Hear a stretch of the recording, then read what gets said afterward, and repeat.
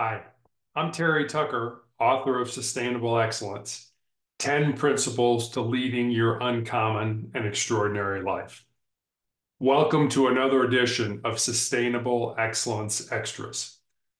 Today, I'd like to talk with you about how the higher you climb in whatever field you choose, the more you'll be criticized. When you get to the top of the mountain, regardless of your field of endeavor, business, entertainment, sports, whatever it ends up being, you are bound to have people criticize you for your methods or functions. It's easy for people to throw stones at glass houses. That's why they do it. Earlier in our country's history, William Jennings Bryan, the political leader who was prominent in the Democratic Party from the late 1890s until the early 1900s, used the following story to buffet himself against attacks when he was running for president of the United States in 1896. Some years ago, a celebrity returned to his alma mater, a small college in the West. After a speech by the visitor, the president of the college inquired if he would like to visit the dorm room he had occupied as a student. The celebrity said he would be happy to see his old room, and the two men walked across campus to the old dormitory, climbed the stairs, and knocked on the door of the room.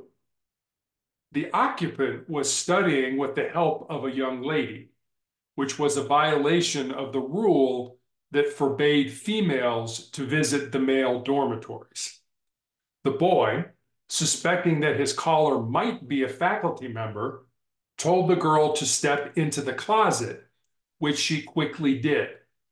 And then the student answered the door. The president of the school presented his distinguished guest and explained the nature of the visit. The celebrity looked around the room and smilingly remarked, The same old table, the same old chairs, and then went to the window and looked at the view. Yes, and the same old tree. He then turned around and noticed, and the same old closet into which I would like to peek, and the same old girl. The student spoke up my sister, sir.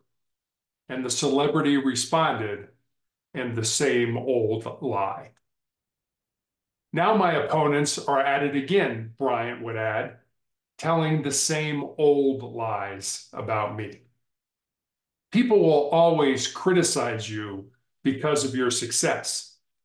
They won't like what you do or how you do it.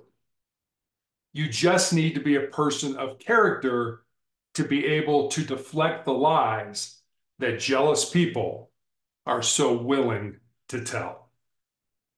Leave me a comment about your thoughts on the story Bryan used to tell and how you can prevent people from telling lies about your accomplishments.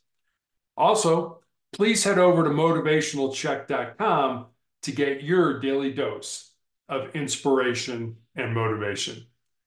Thanks for watching, and I'll see you next time.